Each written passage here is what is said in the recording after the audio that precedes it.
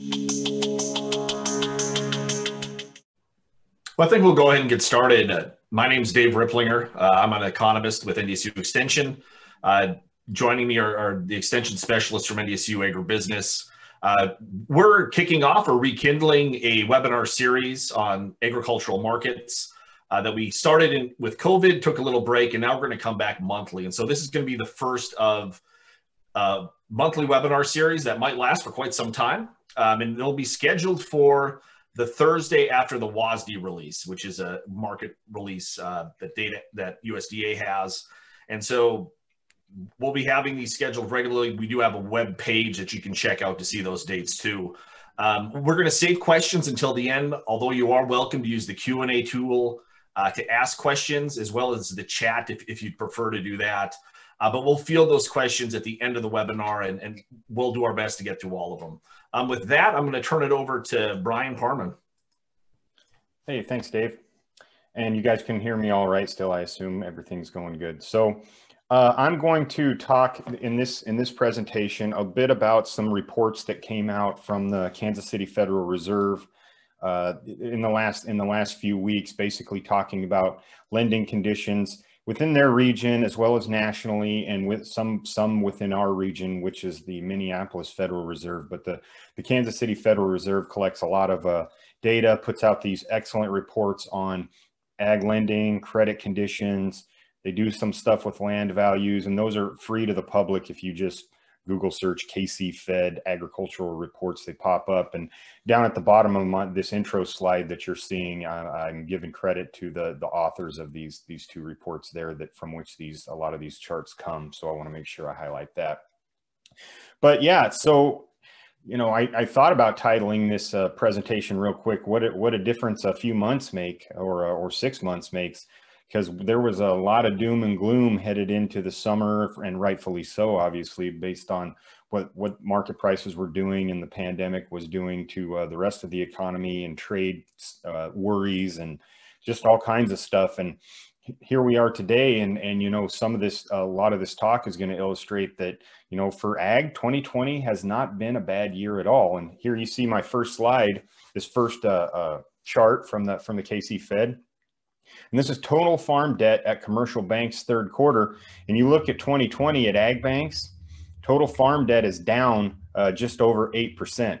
Uh, uh, and not non-ag banks up 2%, but total uh, total farm debt at commercial banks at ag banks is down 8%. So basically what this is showing is a bunch of people this year in 2020 we're not taking on additional debt or going into debt further, whereas the last year, few years, especially 2015 and and beyond, uh, that that every year, year over year, there had been an increase in uh, in debt.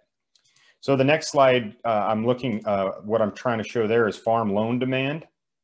Okay, and you can see that loan demand is down. Okay, so folks just weren't taking out as, as many loans or going into debt any further or financing stuff nearly as much uh, this year as they had in the past in the Dallas uh, Fed, which is Texas, that, that area. They've been down for a while, but for the rest of us, including Minneapolis, which is us, the gray line, um, they, uh, uh, we, we're, we're down below 100. So the, it's an index that the way to read these is anything below 100 is decreasing and anything above 100 is increasing. And you can think of it as a percentage if you like but pretty much across the board around the country at the major ag feds, uh, loan demand is down. Uh, folks are folks are just not wanting to to borrow as much money and putting as much stress on the banks.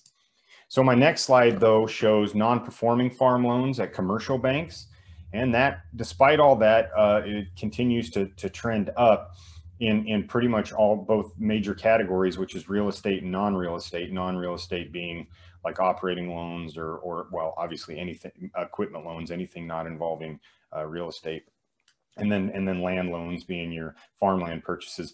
They've been trending up since 2015, but one thing to keep in mind, while this looks pretty dramatic, it's, uh, it's starting from a very low number. In 2015, you know, it was down less than, almost less than 1%. So while it has almost doubled, uh, we're doubling from a really low number. So non-performing loans remains to not really be a problem, especially when you think about after the farm finance or the, the financial crisis of 08, 09, non-performing loans was up closer to two and a half, approaching 3%. And we're still not even, not even to 2% yet. So while it is increasing and it's something to watch, so far, still really not much of a problem.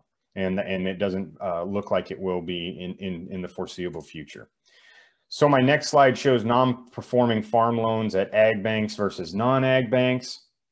Ag, bank, uh, ag banks being the solid lines and non-ag banks being the dotted lines.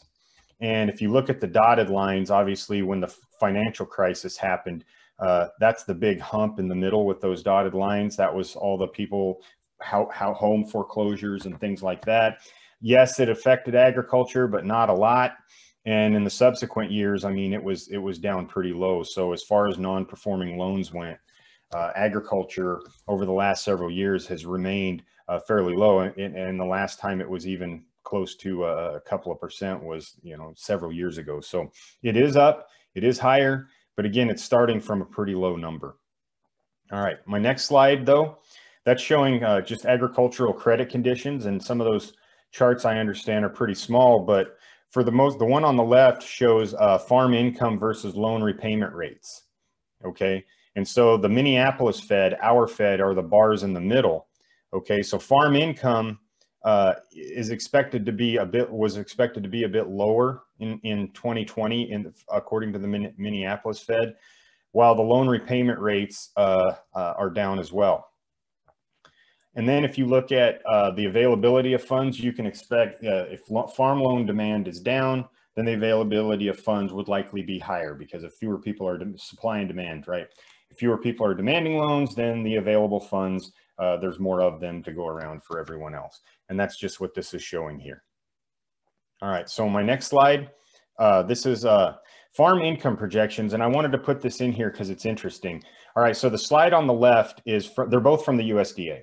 The one on the left shows the projection for 2020 farm income back in February. If you look down at the very bottom of the chart, it says data as of February 5th, 2020. And the projection was that 2019 would have been much better than 2020. 2020 was going to be much like 17 or 18, which were uh, pretty poor years, not the worst since 2016, 2016 being the worst in a long time, but but pretty bad. And then if you look at the one on the right, that 134 uh, billion, okay, that is the, and then if you look at, look at net, uh, net farm income and then net cash income, okay, both of them projected to be extremely high in 2020. And a lot of that has to do with the better commodity prices, obviously, but also the CFAP payments, which are included in net income and, and net cash income. And net cash income might be the story there where it was projected to just be 96.7 uh, billion all the way up to almost 120. So over a 20%, what would that be? 21, 22, almost 23% increase uh, versus what they were expecting before. And that's a, that's a very significant, very big uh, increase. So when you look at this, the USDA is sitting there projecting that 2020 is going to almost be as good a year as 2014, maybe not quite, but but approaching those numbers. So that's that's some good news. Good news for people in, in the equipment business. Good news for people uh, who might have been struggling to pay off operating loans in the past. It, it, looks like 2020 is going to be a year where that's not nearly as much of a problem, especially not as much of a problem as we thought it might be way back in March and April, uh, which seems like ancient history. But I remember we were all talking about uh, calf prices and crop prices being basically uh, in the basement. And now in this fall, that hasn't been the case. And you add that with CFAP and all in all 2020 overall is looking like a fairly strong year. Now, my next slide comes from uh, FAPRI out of the University of Missouri, and they do projections for net farm income. And here is, I've shown this, this chart before. But 2020, this is the, is the, you look across the top, you got 2018, 2019, 2020, you come down there, $98.6 billion. Uh, the USDA is projecting even more than that, but it's still significantly higher than 2019 and then uh, definitely higher than 2018. But if you look at 2021, um, it's as low as back in 2018. And a lot of that is because Uh, they're not projecting a CFAP in 2021. It doesn't uh, something like a CFAP. It doesn't mean it won't happen. Only that it's hard to project or make statements that yes, we that another ad hoc payment is going to happen because uh, you just don't know. They they require pol politicians to act, and they may or may not. We we don't know that now. And then my final slide here is the projections for balance sheets, though. So while this cash income and net farm income stuff uh, is looking promising, 2020, they still project the debt to asset ratio to worsen a little bit. Not much from 13.6% to 13.9%. And FAPRI is basically just projecting that, and for the most part, it doesn't have as much to do with total assets as it does to do with uh, real estate debt. Okay. If you look at 2020, total at 2019 to 2020, total assets are projected to increase. Okay. But real estate debt's also projected to increase and it's supposed to increase more as well as a, a, a it's, it's supposed to increase more than total assets increase as a percentage. So you get this higher debt to asset ratio.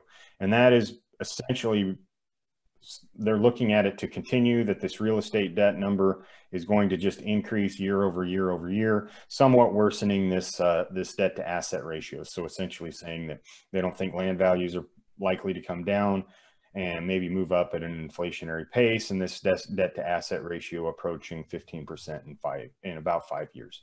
But still, we're starting from a fairly low number, so um, all in all, though, uh, we won't have the numbers, the official numbers for 2020 until well into 2021 uh, because of how marketing years work and everything else, and and everybody closing out their balance sheets for the year.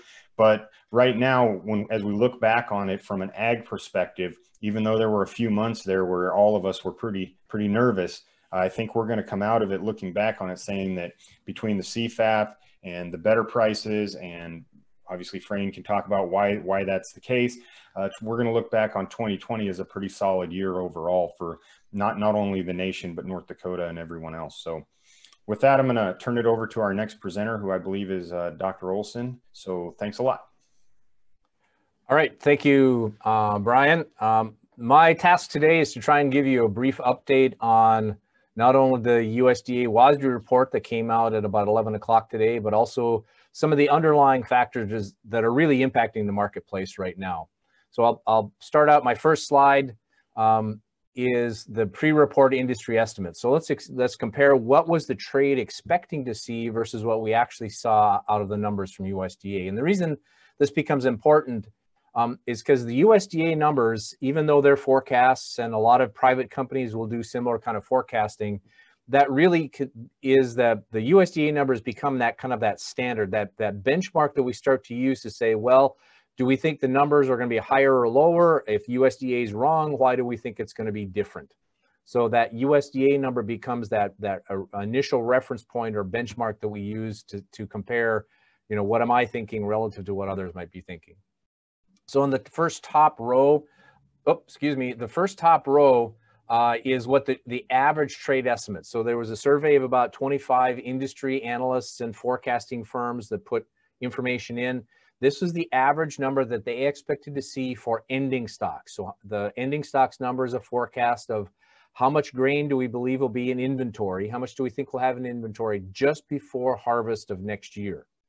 And, and the smaller that number gets, the smaller that our reserves or our, our carryover stocks become, the higher the prices go because the prices the the market is worried about rationing use making sure that we have something left over at the end of the year. But we also see a lot of volatility and market volatility as as that stocks to use ratio goes down volatility goes up. So the top row is what we expect what the trade was expecting to see.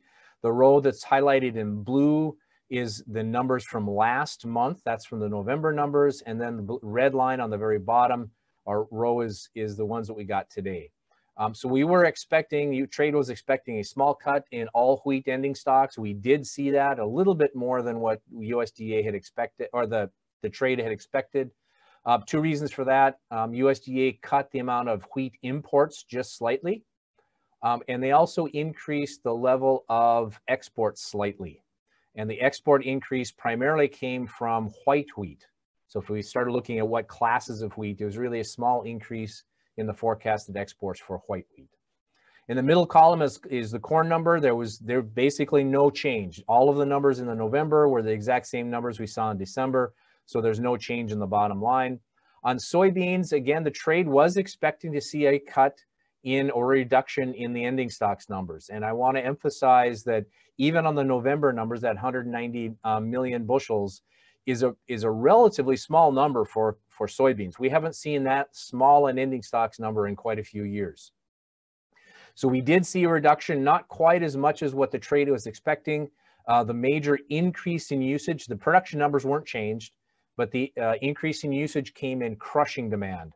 I think there was quite a few trade analysts that were expecting a slight increase or a bump in the in the exports number as well.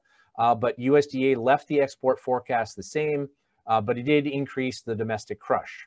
Um, interestingly enough, when I looked at the soybean oil and the soybean meal balance sheets, the adjustments made, they made there was really an increase in both exports for soybean oil and soybean meal. Domestic use for oil and meal stayed the same, but they did increase their forecast for exports. So it looks as though it, globally the oilseed market is starting to really tighten up, and that's what's driving a lot of the price increases we're seeing right now. So on my next slide, um, I wanted to give everybody an update on where do we stand for exports and export pace what's really driving the grain markets and has been for the last several months is two key factors. There's a lot of things going on, but the two biggest ones, uh, number one, Chinese purchases, and number two, the weather conditions in South America, in particular Brazil, but also in, in Argentina. So I'm going to touch on some of those issues. So as we move forward now in time, what are some of the things the market will continue to look at? Uh, just to, to summarize this table very quickly, I realize there's a lot of numbers. Uh, most of the information, most of the numbers on this table are 12 month totals. They're annual sales of US corn to different countries around the world. Who are our major export customers? The difference um, is the far right hand column. That far right hand column labeled 2020 21 with a little asterisk on it is the total export commitments and, and again, this information got updated this morning, so I was able to provide the most recent and current information. This is export commitments. So this would be how much grain has actually either been shipped or has been sold but not shipped yet that will be shipped in the near future starting at the beginning of the of the marketing year so for corn and soybeans that's september 1 so these, think of these as the, the amount of grain that has already been sold and shipped or yet to be shipped in, the, in this current marketing year. So these are bushels that now have been committed um, and, and are now held off the marketplace. If you think about it that way, it's saying, well, how much, what's our available supplies? So I want to compare where we are today to where we have been for yearly totals. Typically, Mexico and Japan are, are number two, number one and number two largest corn customers. I was a little bit concerned given the pandemic, given the COVID, uh, uh COVID-19 issues and the global economic recession that Mexico might have some economic problems. They are having some, um, but, but the economic problems don't seem to be impacting their ability to buy U.S. agricultural products. Their purchases of U.S. products, both corn, soybeans, and wheat, are pretty much right on track with what we would typically see this time of year. So the two two biggest customers, uh, Mexico, Japan. Then we get into kind of the next level down of, of customer base. I want to emphasize or, or focus on that row with China. If you look back historically, the Chinese uh, purchases of U.S. corn has been relatively small. We really haven't seen any major export sales um, since before the, the Syngenta problem with the MIR 162 trait. And that was one of those non-tariff trade barriers that China used to prevent U.S. corn from entering the, the, the Chinese marketplace. Well, because of phase one agreement, those barriers now have been um, mainly removed. There's still a few in place, but most of it has been removed, which now allows more U.S. corn to flow into the Chinese market. And the Chinese have been very aggressive buyers. If you look at that highlighted red number of 11.3 million metric ton, um, that is by far a record. In fact, it's double the previous record for um, export sales to China. So that has really been the, the um, surprise in the corn market. Um, I, I was expecting to see China come in and buy some U.S. corn, but not to the levels that we saw right now. And, and I think a lot of other traders and analysts would, would, would agree with that. So where are we today? We're we've got a very uh, steady, fairly aggressive export sales program right now for corn. Most of that going into China, but our other customers are are coming in and, and maintaining their purchases too. So this is really the underlying driving force in the corn market. The next slide is the same basic table for soybeans. And as you can see, our number one customer by far has always been China. Even during the trade war that we had between US and China during 2018 um, and 19 marketing years, uh, you know, our export levels were, were dropped significantly uh, during that time period, but China was still the number one customer. Again, now that we have this phase one agreement, China's back in the US market buying uh, US soybeans. Uh, that soybean purchasing has really accelerated. And to be, again, very honest, I think the um, the numbers that we're seeing today are much more aggressive than I had expected. And I know there was in talking to some some other folks that do a lot of this analytical work, and and they were basically in the same camp that we were expecting larger purchases, but these levels that we're seeing today are are pretty aggressive. Now, export sales between the U.S. and China are very seasonal, and we're now reaching that time of the year where seasonally our export sales start to drop off, and they start to to uh, pick up, or at least the again the the the purchases for delivery later become more aggressive. And I know seeing some reports um, there's a large portion of this of the Brazilian soybean crop has already been sold, even at this time of the year, even though they're pl planting right now.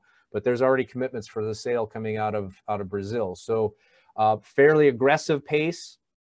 So I do expect to see as we move forward in the next several months that U.S. export sales will start to drop off. Uh, but again, the Chinese purchases have been very aggressive. When we look at our other major customers, in particular, some a place like Mexico, again, fairly steady purchases. It's been pretty much right on pace. The European Union is a little bit further behind um, what, what we normally see this time of year, but again, their, their sales pace can be somewhat sporadic. Um, the next slide, we're looking at the same information then for wheat. Now, this would be all wheat classes built together. Um, the wheat export sales, whether it be export sales or export commitments, where the sales is actually shipments uh, leaving the country. These commitments are not only shipments, but again, what we expect to see late, delivered later on. You know, it's been very steady. It's been pretty much right on pace. Our big customers, Mexico, Philippines, Japan, they've been buying at the regular rates. They've been kind of buying the blend of wheats that we would normally see at this time of year. Towards the bottom of that table, if you notice, there's a row named China or labeled China. Um, again, a bit of a surprise to the wheat market that China has come in and bought as much wheat, U.S. wheat, as they have. Now, approximately half of those sales have been hard red winter wheat. Um, there has been some white wheat sold as well as a little bit of spring wheat. Now, there are some rumors now starting to float around. I don't want to make too big a deal out of this because they're just rumors.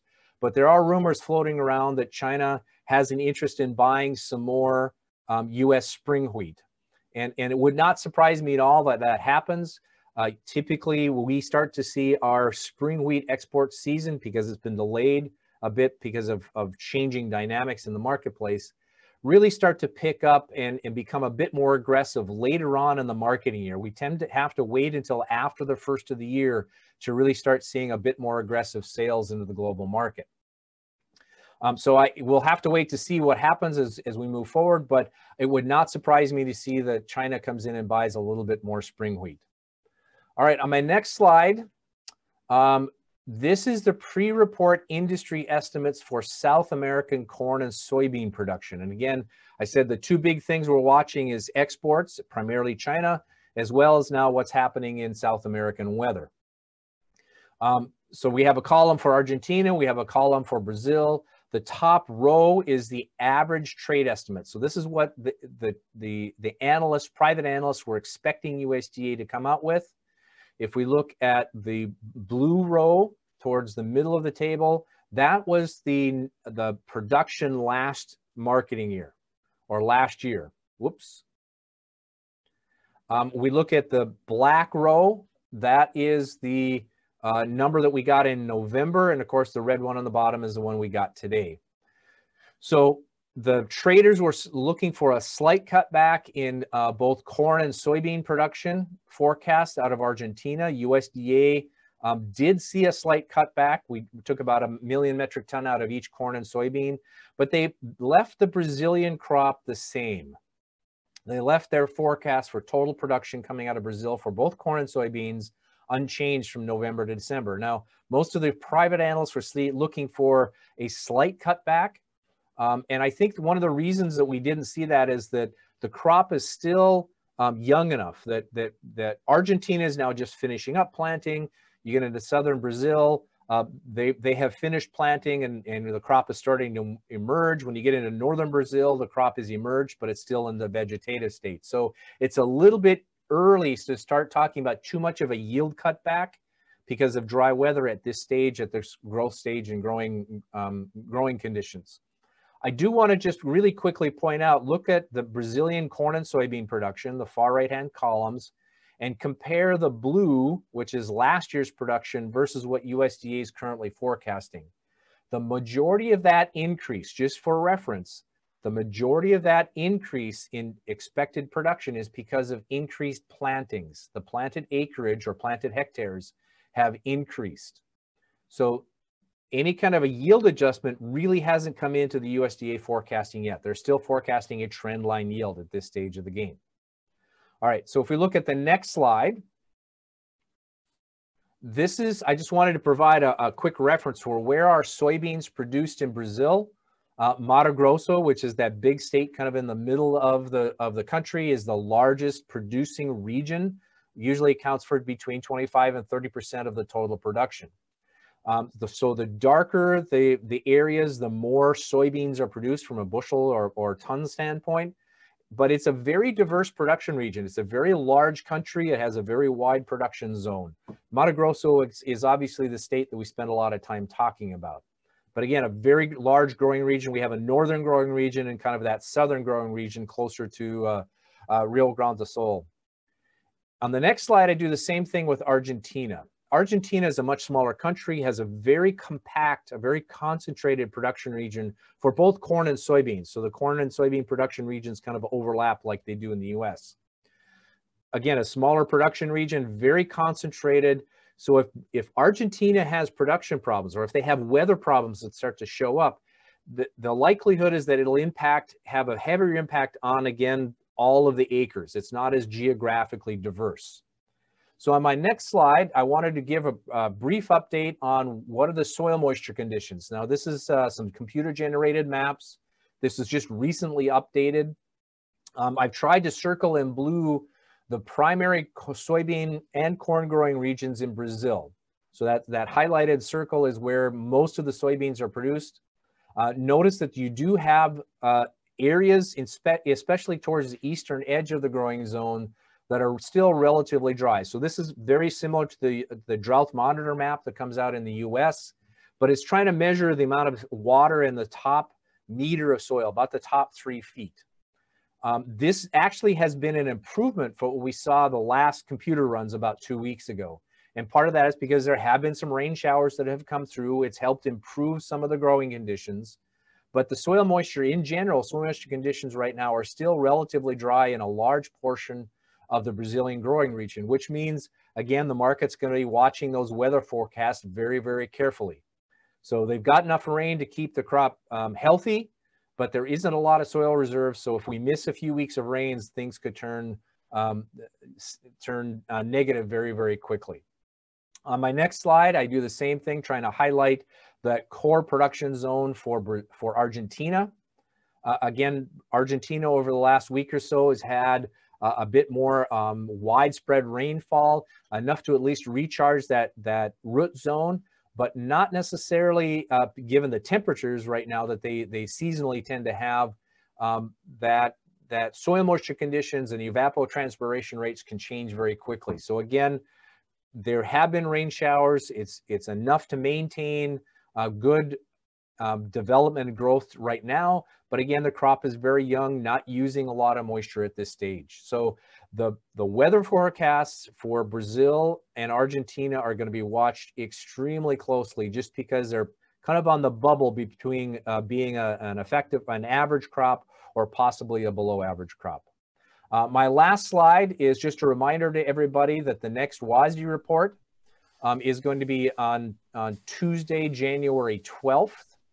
Um, when that report is released, we will also get the annual production report. And the reason that's important is because that is the uh, when USDA releases their final official production numbers for the 2020 growing season. So we'll get the final official numbers for planted acreage, harvested acreage, and average yields. And, and if there are some adjustments or some tweaks uh, that need to be made in any one of those numbers, it will show up in this report. And the report covers not only the major commodities, but a lot of the uh, minor or smaller market crops as well. So again, uh, January 12th will be a very important day in the marketplace. So uh, be ready and be prepared. And with that, I'll turn it over to Tim Petry for the Livestock Outlook. Well, good afternoon, everybody. Great to be with you again. If we go uh, go to that first slide, um, um, today I'm going to mainly talk about what's going on with calf prices, but I do want to call your attention if you're interested in the sheep market. We do have the a monthly newsletter that comes out. Our next one will come out in about a week, I think around December 20th. And I've got an in-depth analysis of the sheep market there along with some charts. So uh, just be looking for that if you're interested in sheep. Go to my next slide. We talk about uh, cattle then. Um, I kind of want to talk about ranges versus averages because on my charts and when I get to those charts, you'll see that I, I have one price and a lot of people always ask what our price is going to be and they want one price and and uh, and so averages are that but there is a wide range so you know just go to um, that pur purple line in the middle there for 550 to six weight calves. You see, this is last week's uh, North Dakota weekly average summary out of USDA. They report uh, three markets. That's uh, Napoleon and Mandan and Stockman's and, and USDA actually issues a report for each of those markets plus the North Dakota summary. And so this is the North Dakota summary and the website is shown there if you want to go to it or go to my website and I've got all the individual uh, links there and you can just click on them. So uh, last week, you know, although 550 to six weight calves averaged 159, and that's what you'll see on my chart, you see quite a range in prices there, 144 up to 167.50, you know, 130, 40 dollars a, a, a head a difference there. So, you know, this is significant from a marketing standpoint in that uh, I guess if you're selling calves, prefer to be on the top end of the range. And maybe if you're buying calves, the background may be going down under 150 and getting some that you can add value to maybe makes more sense than buying the top of the market. But anyway, that's the range. You know, go down. I'm going to also talk about the 750s to eight. And so, you know, almost a $20, uh, you know, uh, uh, range there. And so, uh, just one other comment that I usually mention.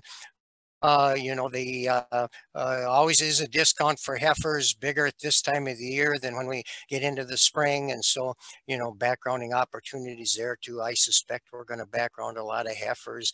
Again, I didn't circle it, but if you go up to, you know, to those uh, 450s there at you know 177 and and, uh, then go over to the heifers uh, about $30 lower but by the time you get up to the 550 to 6 the $20 lower and as we keep going on down they get closer and closer to steer prices so that's what makes heifers uh, kind of attractive there so let's go to the, the charts the next slide and I'm going to just discuss the lighter weight calves to begin with uh, we talked about um, I like to put the last three years years on a chart. And so now we're almost finishing this year. So I'll have four years and I'm ready to uh, take the 2017 line off. But uh, the red line there is this year. And uh, so you see, we started off the year about right on 2020 right on 2019 until the COVID hit there and, and then went down. Uh, also circled there, you'll see that the 19, 17, 18, 19, we hit a 180 there in the spring. We would have easily done that this year again, or maybe even a little better than that because we were already at 177 there at, in late February, but then the pandemic threw a monkey wrench into things. Our expectations were there uh, you know, when we hit that 180, that then we would follow that blue line, which is 2018. And I'm quite confident that we would have done that. You know, the economy was booming, fed cattle were going to average better. And so, uh, uh, you know, we had good grazing conditions at least to begin with. So that's what we would have been. But the red line is where we actually ended up. So uh, again, uh, we did go down, but kind of leveled off there around 160 plus or minus through most of the summer. It could have been worse when we were talking to you uh, at the webinars before. I said, you know, this fall is going to be very interesting. Uh, prepare for the worst and hope for the best. And I think probably we're uh, kind of ended up with more on the best side. But uh, there by mid-August, you see that peak in uh, prices there up at 165, 166 and actually was uh, above the last uh, a couple of years. But as Frayne said, then we did run into some production problems on corn and the China came in with the exports and a whole bunch of other reasons. He didn't even mention them all. Uh, uh, have that opposite relationship between uh, corn and feeder cattle. Rule of thumb is change corn 10 cents, change full calves and dollar in the opposite direction other things being equal. And so that's kind of a, a big thing that I'm going to talk about here in the next minute or so. But yeah, so then we did see some weakness there and corn gets all the blame for it, but that isn't uh, everything to blame as well because uh, if you, you know, a new drought monitor came out today, but the whole Western U.S., not only North Dakota, but the whole Western U.S., save a little in the Pacific or Northwest, in the north side, is very, very dry. And so, uh, uh, yes, corn went up, but we had early movement of calves, particularly down in the Southwest, where it's very, very dry. More calves in the market there in September than normal, so that put pressure on the market. Then we have that normal seasonal decline that occurs there. So we bottomed out there on October 15th.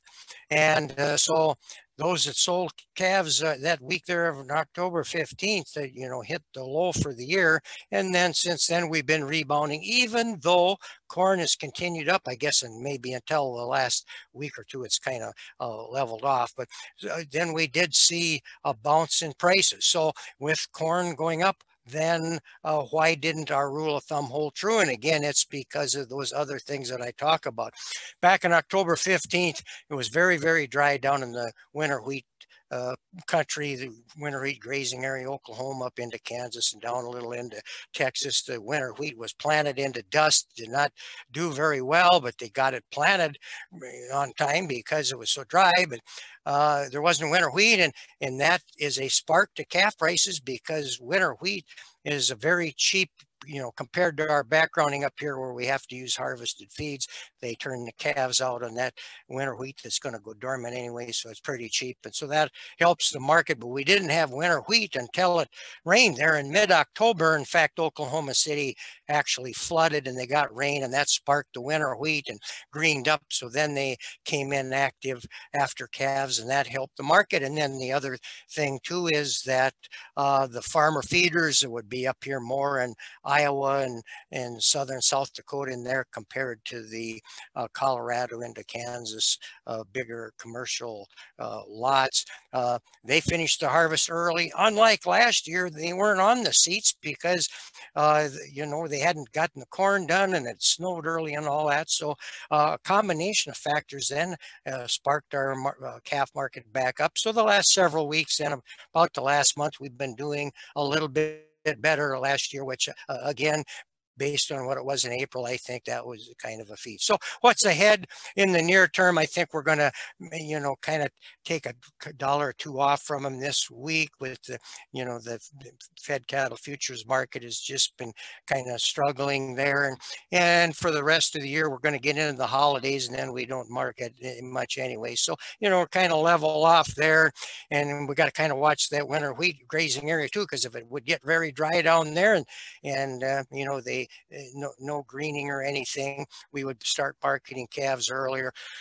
Longer term, then, of course, for next year, the big question mark is weather. Again, with half the country being dry, and you know, are we going to have forced liquidation and what's the corn crop going to be. So a lot of issues right now, though, I'm going back to the, we're going to start lower than 2018 at the beginning of the year, but that's what I'm using, that light blue line there.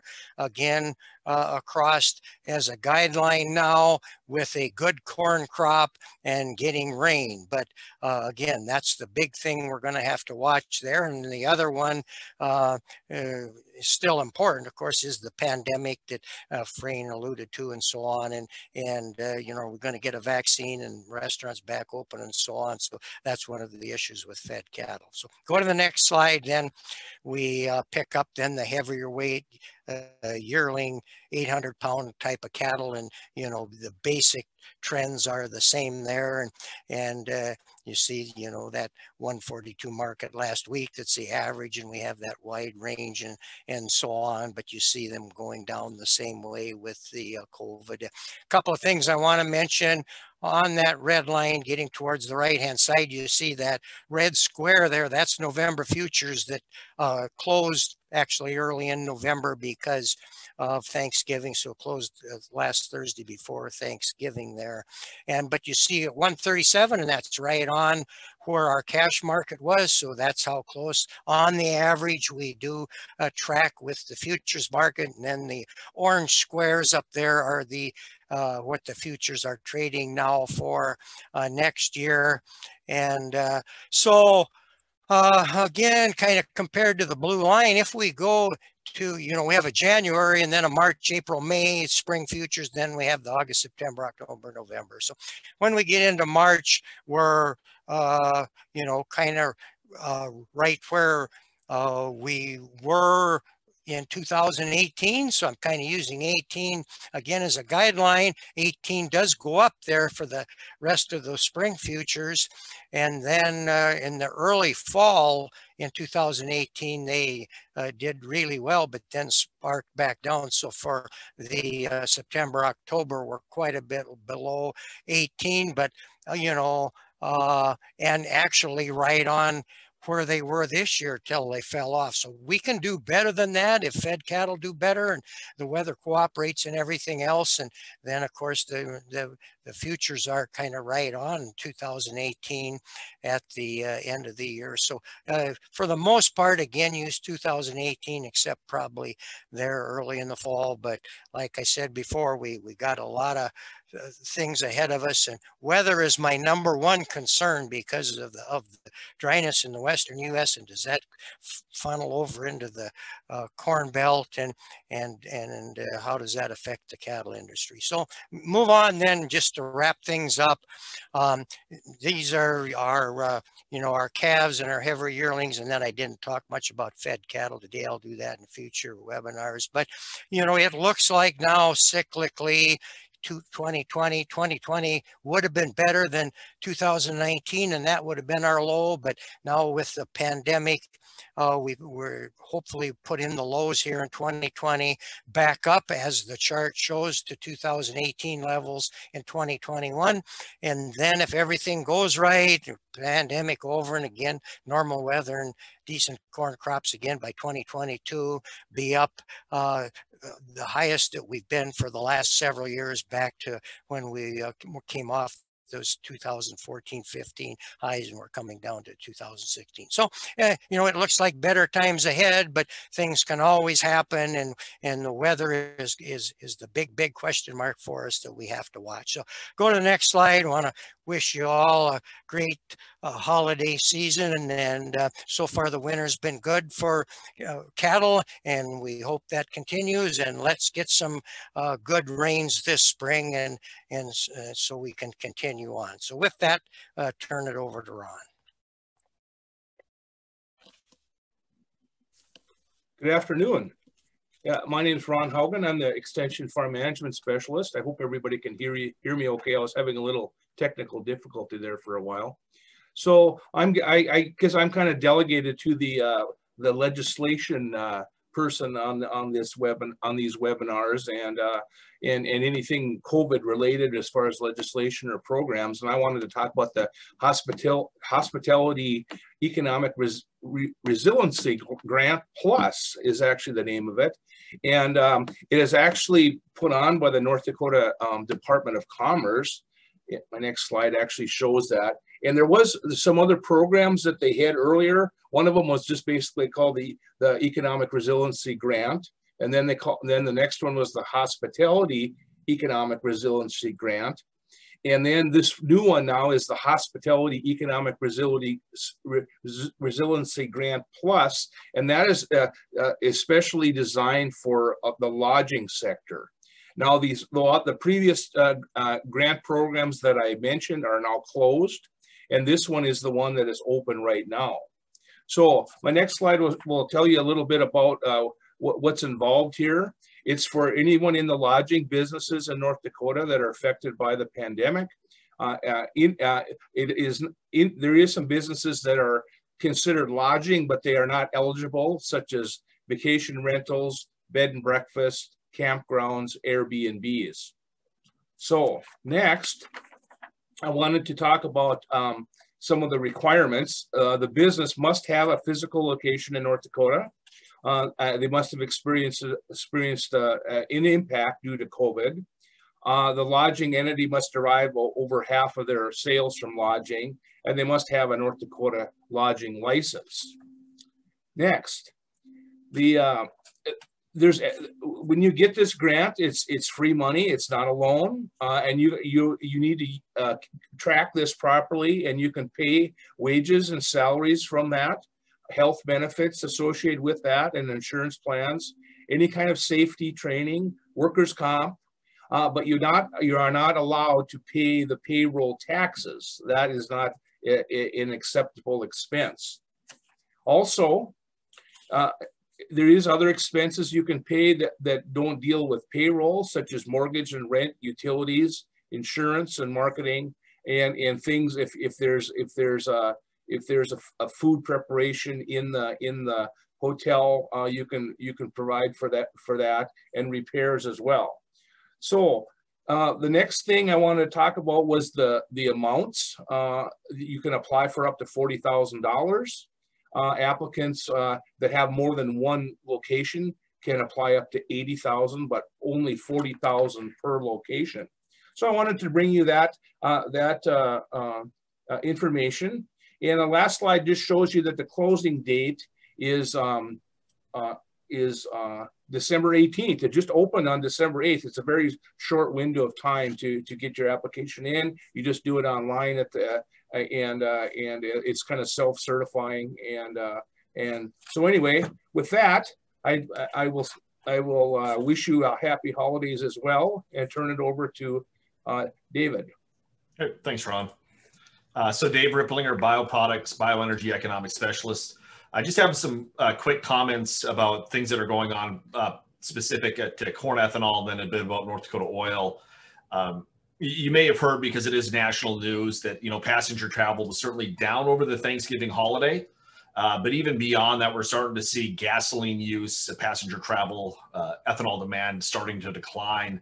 Uh, the question is if this is something structural uh, or if you know there's something bad coming on the horizon. There's a lot of concern of of uh, economic activity going forward, especially after the new year. Uh, and again, this is much more than that seasonal difference. You know, we always see that holiday spike because Thanksgiving is a travel holiday. Uh, we also see just a general decline across the winter season as there's less passenger travel uh, as well. But it's it's a lot more than that. Moving over to the agribusiness side of things, you know, this weakened demand is is one side. The supply side uh, isn't particularly positive either.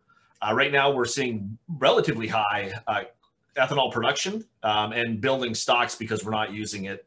And of course, this is uh, kind of things on each side going the wrong way. Uh, just at least surprised to me, ethanol price has been relatively steady in light of this. It's, it's down uh, 10 or 15 cents, but even after yesterday's uh, EIA report, you know, it really didn't move much after that. looking at how things are looking economically for corn ethanol refineries themselves. You know, margins are, are low, if not negative, for most uh, corn ethanol refineries. Uh, although you know up and to through last Friday, they were producing at, at a pretty steady clip. Uh, but one of the things, and talked about this uh, regularly over the last few weeks, is ethanol really can't support corn at this price. Uh, they're they're taking the price of corn and trying to make things work.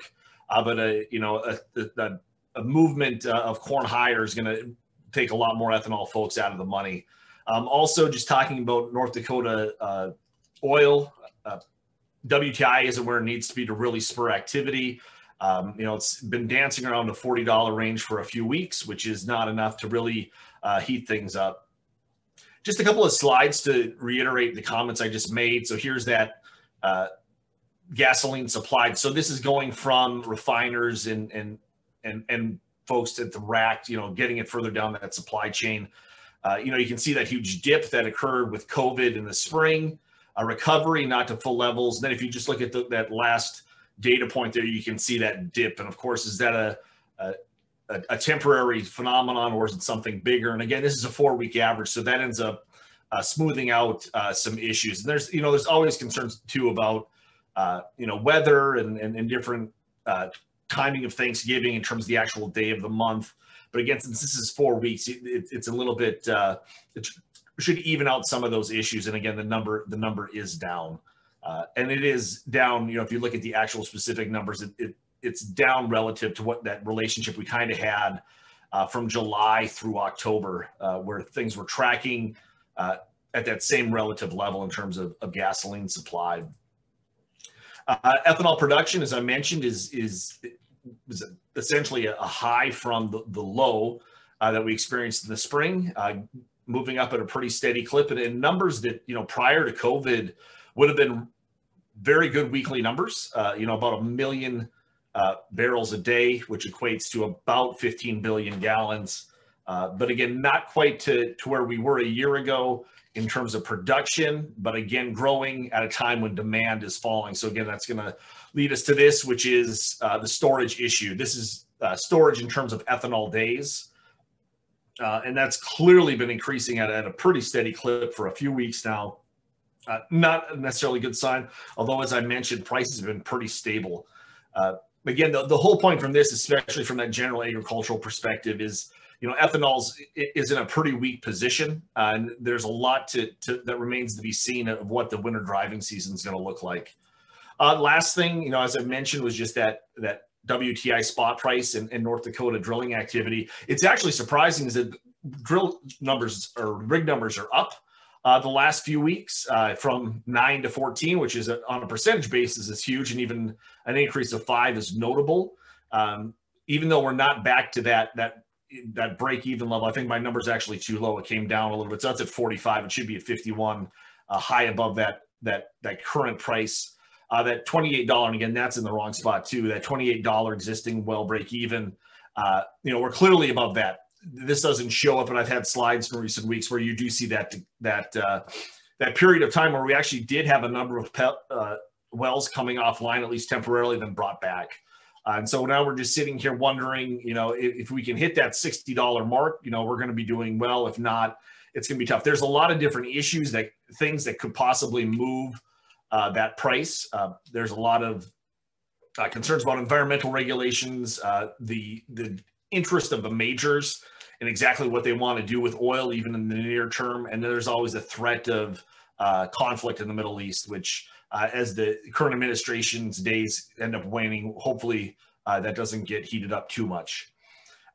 My point, I didn't, I might not be as funny as Tim's or as pleasant as Tim's, but we only have three weeks left in this year. So, you know, I think we're going to make it. Um, you know, we're really close to that finish line. And so, uh, you know, possibly putting for some of us, either personally, professionally, or otherwise, uh, a pretty tough or, or, or, unique year behind us.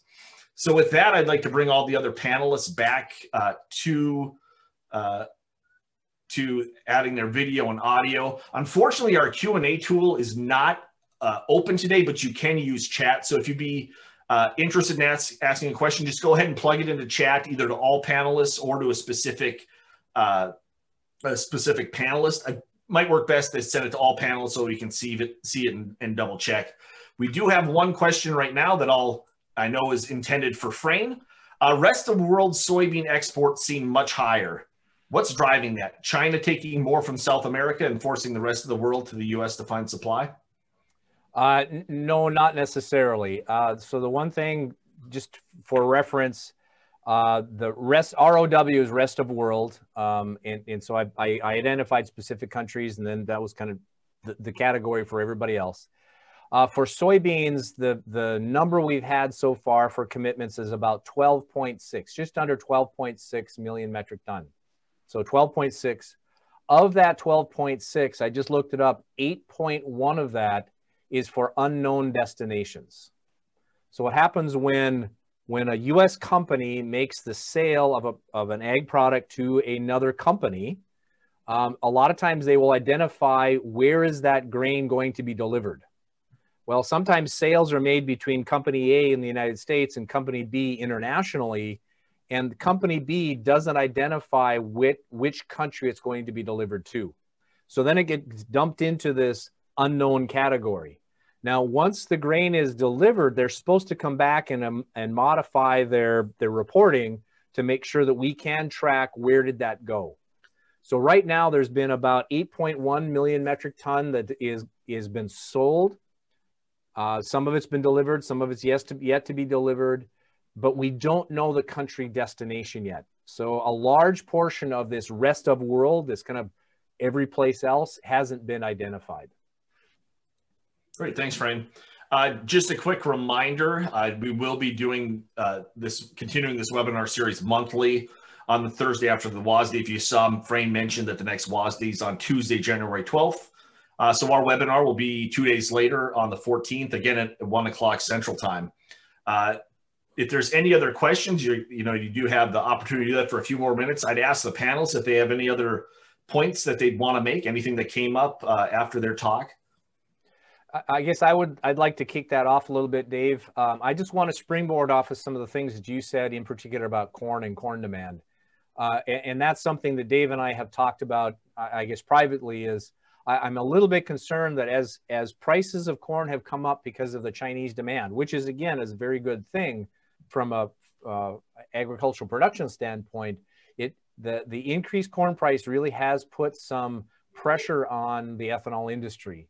And, and in my opinion, it's this trade-off now between um, how much corn is going to be exported and delivered relative to our domestic demand that, that's really going to start putting a cap or an upper limit on our current corn inventory. So the only way, in my opinion, that we're going to be able to keep pushing um, uh, corn prices higher is we need to maintain that base of exports, but we also need to have uh, energy prices start to increase to allow the profit margins in the ethanol industry to, to be maintained. Because if, if we don't see that kind of an increase, if we don't see prices and consumption uh, uh, start to rebound, um, as corn prices go higher, it simply means that we're going to have more ethanol plants shutting down, and that's going to put the cap on corn prices. Yeah, that's exactly what I'm concerned about too. Did anyone else have a, a comment or a point that they'd like to make? Um, if not, again, we'll be uh, back in about a month. Uh, also, if you want to see the, the slides that we had today, we're recording of this webinar. You can visit the webinar web series page, which is uh, on the board. So basically going to our farm management site and there's an Outlook page. Uh, we'll also, it also has the list of, of, future dates through 2021, which we've scheduled, uh, and the ability to register for those events. Uh, Tim did mention our newsletter, which it comes out monthly. you know, it's a great resource, has some in-depth uh, looks at some some pretty practical but and important uh, agribusiness uh, agricultural uh, issues. Uh, the next one will be out in, in just a few weeks, and, and look forward to that. Uh, most of you who've registered, you know, you'll be added to the mailing list, so you should see that in your email boxes shortly. Uh, and if you don't, we actually do have the previous editions archived online as well. Uh, if there's nothing else, I want to wish everybody happy holidays, uh, safe travels hopefully COVID doesn't disrupt things too much, uh, and we'll see you next year. Thanks.